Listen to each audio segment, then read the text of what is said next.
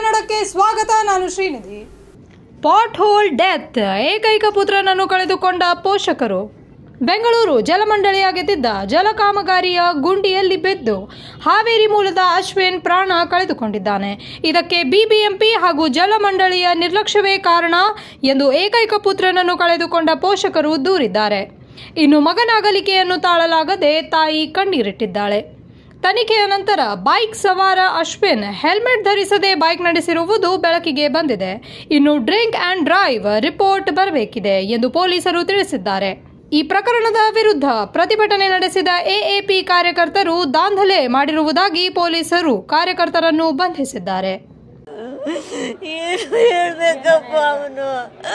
ಒಬ್ಬನೇ ಮಗ ಅವನ ಜೀವ ಇಟ್ಕೊಂಡಿದ್ದೆ ನಾನು. ಅವನ್ ನೋಡ್ಕೊಂಡು ಜೀವ ಕಳೀತಾ ಇದ್ದೆ. ಅವನೇ ನನ್ನ ಸರ್ವಸ್ವ, ಅವನೇ ಜೀವನ ಇವತ್ತು ಕಳ್ಕೊಂಡೆ ಅಪ್ಪ ಅವನಿಲ್ಲ ನನ್ನ ಜೀವ ಇಲ್ಲ. ಅವನಿಲ್ಲ ನನ್ನ ಜೀವ ಇಲ್ಲ. ಡೈಲಿ ಹೇಳ್ತಾ ಇದ್ದೆ, ಅಪ್ಪ, ಉಂಡಿದೆ, ಬಲ್ಲೆ.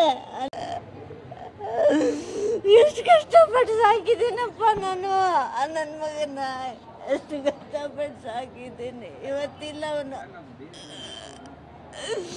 ಏನು ಮಾಡಲಿ ನಾನು?